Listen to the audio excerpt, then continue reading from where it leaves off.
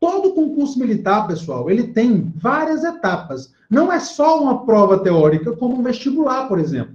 No vestibular, normalmente, você tem duas etapas, né? Que você tem é, é, a, a, prova, efetivamente, e aí você tem a comprovação documental, onde você mostra lá o seu diploma, a sua certidão de nascimento, tudo mais. Normalmente é só isso que tem no vestibular. Num concurso militar, tem outras etapas. A primeira delas é a prova. Então, você faz as provas.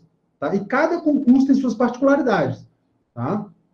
É, é, você faz a prova e aí foi aprovado na prova teórica, você vai passar para as outras etapas. Normalmente a segunda etapa é a inspeção de saúde, onde você passa por uma avaliação da sua saúde. Você apresenta uma lista gigantesca de exames.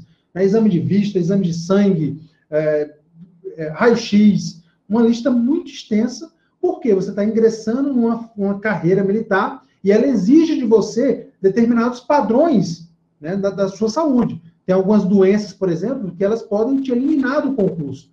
Né? Um, um exemplo aqui bem, bem, é, é bem extremo, né, mas né, para citar para vocês, é o caso do, do, da pessoa que ela é soropositiva né, para o HIV. Então, você não pode ingressar numa carreira militar. Né? Tem outras doenças também que podem te eliminar do concurso. Então, a inspeção de saúde, ela serve para isso. A inspeção de saúde da Academia da Força Aérea, por exemplo, ela é muito rigorosa na questão da visão.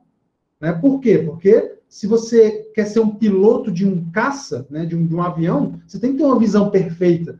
Tá? Então, tem essa, essas particularidades. No caso dos concursos para Exército e para Marinha, a, a, a, inspeção com relação à visão não é tão, tão, tão é, é forte assim. Né? Você pode usar óculos, não tem problema nenhum. É, então, passou da inspeção de saúde, você tem a próxima etapa, que são os testes físicos. Tá? Então, você vai, ter pro, você vai ter teste de corrida, normalmente é corrida, flexão, barra, abdominal.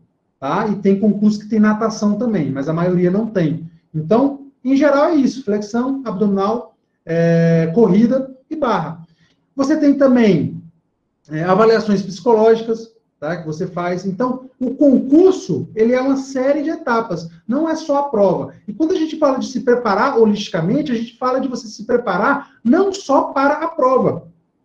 A prova é muito importante. O seu foco tem que estar nela, sim. Mas você tem que se preparar também para a parte física. Você tem que ter uma preparação psicológica, né?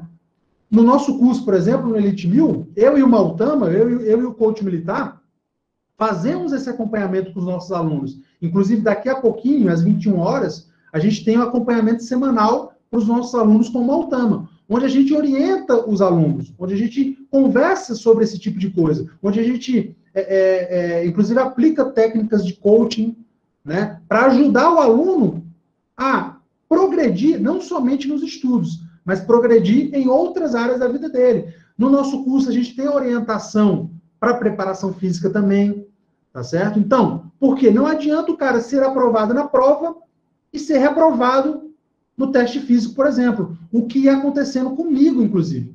Né? Eu quase fui reprovado no concurso da SpaceX na barra. Né? Por quê? Porque eu não treinava barra. Eu, eu, fui, eu sou atleta desde os 12 anos de idade, então eu me garantia nisso.